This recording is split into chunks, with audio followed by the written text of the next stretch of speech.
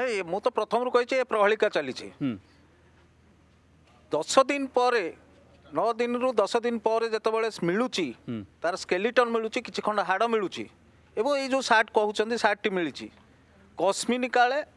ସେଥିରେ ସିମନ୍ସ ରହିବାର ସମ୍ଭାବନା ନାହିଁ ଏହା ଫୋରେନ୍ସିକ୍ ରିପୋର୍ଟରେ କେବେ ହେଲେ ନଥିବ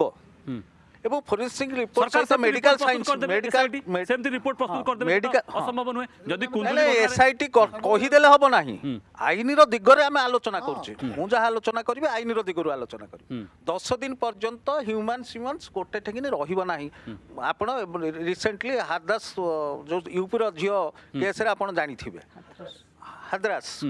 রিপোর্টরু জানিথিবে 10 দিন পরে কোনসি সিমন্স রহিব না এবং এইটা যদি প্ল্যান্ট করা যাই